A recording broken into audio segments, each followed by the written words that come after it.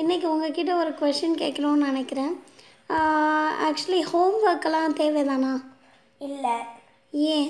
ஏன் என்ன நினைக்கிறீங்க? ஒன்றும் நினைக்கல. ஏன்னு தெரியல. ஆனால் தேவையில்லாமல் ஹோம்ஒர்க் கொடுத்துட்ருக்காங்க எல்லா டீச்சர்ஸும் ஏன் அப்படி சொல்கிறீங்க ஏன் அவங்க சொல்லிக் கொடுத்தா என்ன ஸ்கூலில் சொல்லுங்கள் நீங்களும் ஒரு டீச்சர் தானே? ஆமாம் நீங்கள் ஹோம்ஒர்க் கொடுக்குறீங்களே? நீங்கள் படித்ததை திரும்ப படித்து பார்த்துட்டு வர வேண்டாமா வீட்டில் ஹோம்ஒர்க் நீங்களும் படிக்க கொடுக்குறீங்க. எழுத தானே கொடுக்குறீங்க. ஆமாம் அப்புறம் படிக்க கொடுக்குறேன்னு சொல்லியிருந்தீங்க. ஒரு வாட்டி எழுதுனா பத்து வாட்டி படிக்கிறதுக்கு சமம் இல்லையா? ஹலோ அது முதல்ல.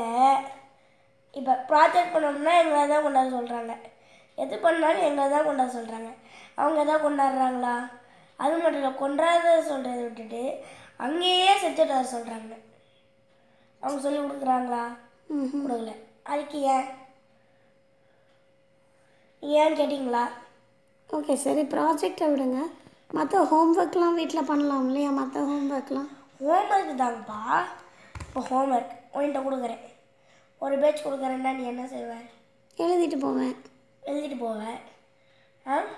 ஆமாம் இப்போ இப்போ ஒரு பொண்ணு சொல்லுது நான் ஹோம்ஒர்க் முடிக்கலன்னு.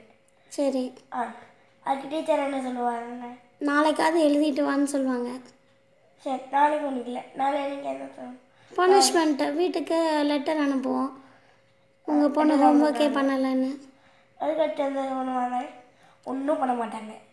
அது கடைசியில் எப்போ எக்ஸாம் வருதோ அப்போ தான் பார்த்து இதை பண்ணிட்டு வான்னு சொல்லுவாங்க. ம் அப்போ கூட பண்ணலன்னா சொல்லுவாங்க. என்ன சொல்லுவாங்க? ஒன்றும் சொல்ல மாட்டாங்க. அப்போ கூட பண்ணலன்னா என்ன சொல்ல போகிறாங்க சில பேர் அப்படி தான் ஸோ நீங்கள் என்ன சொல்கிறீங்க எல்லாமே டீச்சர்ஸ் தான் சொல்லி தரணுன்றீங்களா எல்லாமே சொல்ல. டீச்சர்ஸ் சொல்லி தரணும். ஆனால் அந்த லெசன் எடுக்கிறதுக்கு முன்னாடி அதை எப்படி செய்யணும்? அதை முதல்ல சொல்லி தரணும். ஓகே. ஓகே. அப்போது ஹோம்ஒர்க் வந்து பண்ணலான்றீங்க. பண்ணலாம். அதுக்காக சும்மா டெய்லியும் ஹோம்ஒர்க் கொடுக்கலாமா? சே பாவம். நீங்கள்லாம் ரொம்ப கஷ்டப்படுறீங்க. இல்லை? ஆமாம் என்ன பண்ணுறது ஓகே நன்றி. இவ்வளோ பொறுமையாக நீங்கள் ஆன்சர் பண்ணுறதுக்கு ரொம்ப நன்றி.